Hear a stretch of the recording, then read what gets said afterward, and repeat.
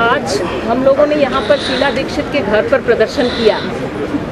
अब शीला दीक्षित के घर पर मुझे लगता है कि प्रदर्शन करते हुए हम कह रहे हैं कि इस्तीफा दो। मुझे लगता है क्यों हम कह रहे हैं इस बात इसको भी थोड़ा बेहतर समझने की ज़रूरत है और लोगों को बताने की ज़रूरत है। ज़ाहिर सी बात है कि शीला दीक्षित ने ये जो कहा, ये जो बात कही कि भाई ये डीटीसी बस में नहीं घटी प्राइवेट बस में घटा, इसके लिए मेरी ज़िम्मेदारी क्या है? तो ये तो हम सिखाने आए हैं कि भाई अगर कोई प्राइवेट बस जिसमें आयरन रॉड रखे हुए हैं लगातार और जिसमें इस तरह के हैवान खुलेआम घूम रहे हैं सड़क पर। और उस बस की कोई रूल रेगुलेशन नहीं है।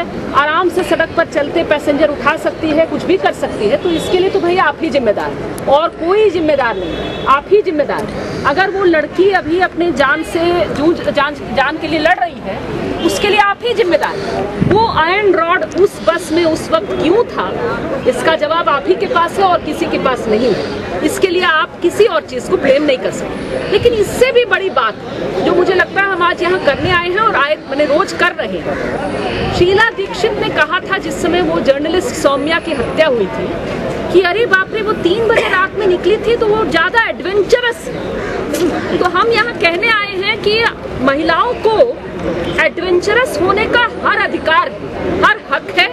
हम एडवेंचरस होंगे, हम रेकलेस होंगे, हम रैश होंगे, हम अपनी सुरक्षा के लिए कुछ नहीं करेंगे। हम कैसे कपड़े पहनेंगे, ये हम आप हमें मत बताओ। हमें कितने बजे रात में चलना चाहिए, दिन में कैसे चलना चाहिए, कितने लोगों को साथ लेके चलना चाहिए, ये हमें मत बताओ। इसमें मैं एक और बात आपको याद दिलाऊं।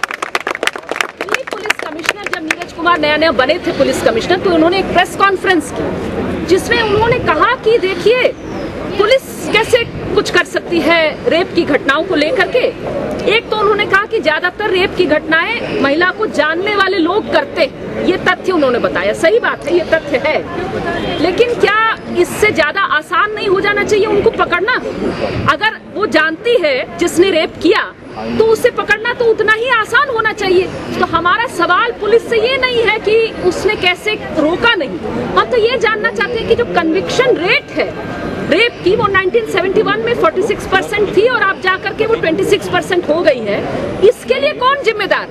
इसमें सीधी बात है कि पुलिस के इन्वेस्टिगेशन में भयानक गैप है, भयानक कमी है। वो इन्वेस्टिगेट नहीं कर रही है। कोई प्रोसीजर नहीं है कि रेप की घटना में कैसे आपको प्रोसीड करना है। एक ही प्रोसीजर है जो मुझे लगता है यहाँ खड़ी जितनी लड़कियाँ हैं, महिलाएँ हैं, हम सब जानते हैं कि एक ही प्रोसीजर है दिल्ली पुलिस का। आप थाने में अगर जाइए और कहिए कि मेरे साथ यौन उत्पीड़न हुआ है, वो सबसे पहले आपसे कहेंगे कि आप फ़ाइल मत करिए। कंप्लेंट फ़ाइल मत करिए।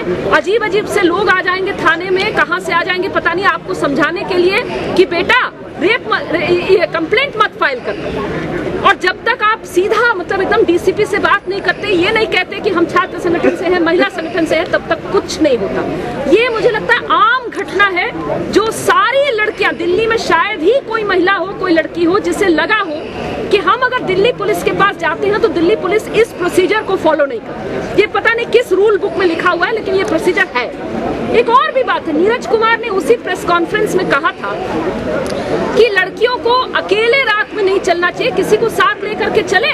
और दो बजे रात में अगर आप अकेले चलेंगी तो आप हमको कैसे एक्सपेक्ट करते हैं कि हम आपको बचाने आएँगे? ये बात उन्होंने कही थी। अब ये जो घटना घटी है, ये तो सीधी बात है। बहुत ऑब्वियस बात है कि भाई, इसमें तो न रात के दो बजे थे, उसके साथ कोई था वगैरह। लेकिन मैं वो नहीं आर्ग्यू करना चाहती। मैं मानती हूँ कि लड़कियाँ अगर अकेले भी निकले, कितने भी बजे रात में निकले, ये पूछा जा रहा है कि जस्टिफिकेशन देने की ज़रूरत नहीं है कि उनको तो काम से निकलना पड़ता है, वो रिटर्न कर रहे हैं बीपीओ के नौकरी से या मीडिया की नौकरी से। भाई, अगर उसकी इच्छा है कि वो रात में निकले, अगर उसकी इच्छा है कि हम रात में जा करके सिगरेट खरीदे, रात में निकले, रात को जो है बाहर सड़क पर टहले तो क्या ये इच्छा व्यक्त करना, ये कोई अ, का- गुनाह हो जाएगा लड़कियों की ओर से इसके लिए हम ये डिफेंसिव आर्ग्यूमेंट ये सुनना ही नहीं चाहते हैं कि लड़कियाँ नौकरी के लिए ही निकलती हैं, बेचारी क्या कर सकती है? वो कंपेल्ड है घर से बाहर निकलने। हम मानते हैं कि घर के भीतर हो, घर के बाहर हो, रात के समय हो दिन के समय हो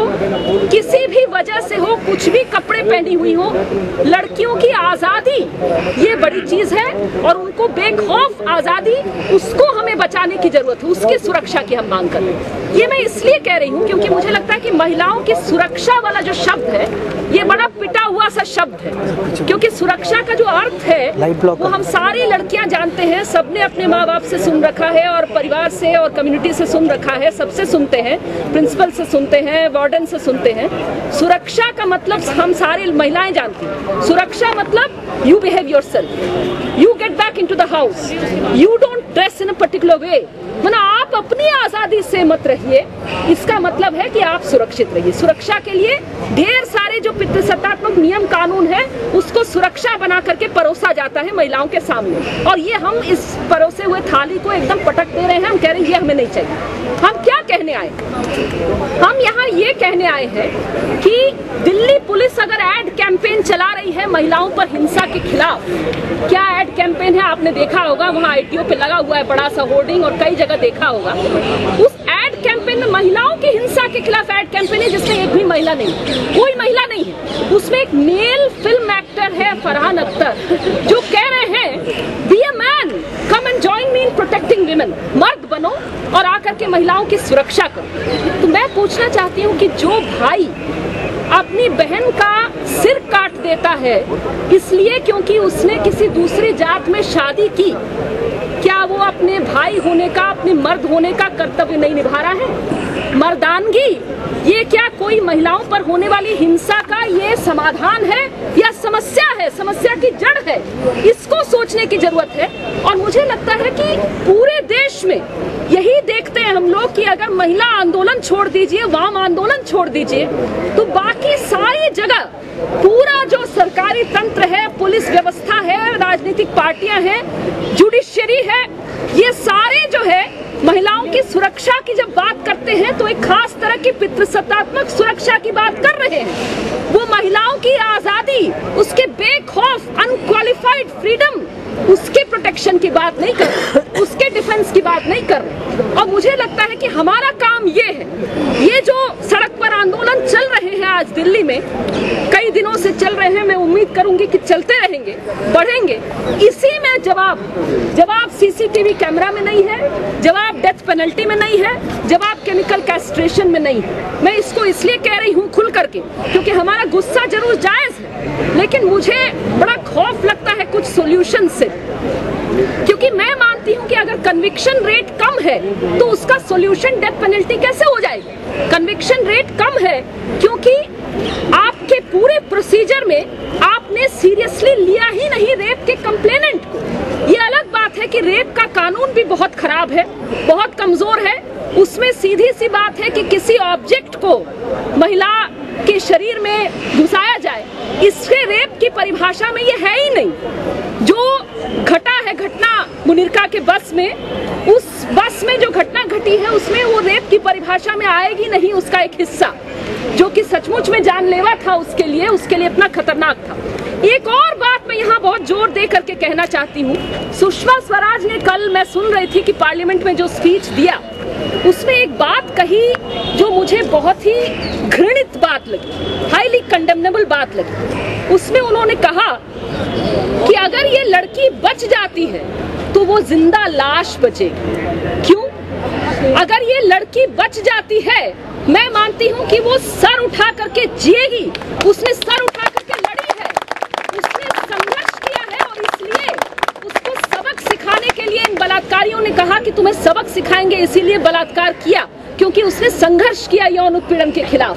हम सारे लोग जानते हैं यहाँ जितनी, शायद ही कोई महिला हो, कोई लड़की हो, जिसने दिल्ली की सड़कों में, दिल्ली की बसों में पब्लिक में लड़ाई न किया हो, अकेले न लड़ा हो अकेले संघर्ष न किया हो और खुद को अकेला न पाया हो इस तरह के परिस्थिति में। ऐसा जब करते हैं तो आगे आने वाले दिनों में सब हमको कहेंगे, यही बात कहेंगे कि देखा हमने आपसे कहा ऐसा करेंगे तो आपके साथ जो है आप ये खतरा मोल रहे हैं। लेकिन मुझे लगता है कि वो लड़की, मैंने तो पढ़ा अखबारों में, पता नहीं सही है कि नहीं, कि उसको जब होश आया तो वो यही पूछ रही थी कि वो पकड़े गए कि नहीं पकड़े गए। उसके लड़ने की इच्छा अभी बरकरार है, वो खत्म नहीं हुई है।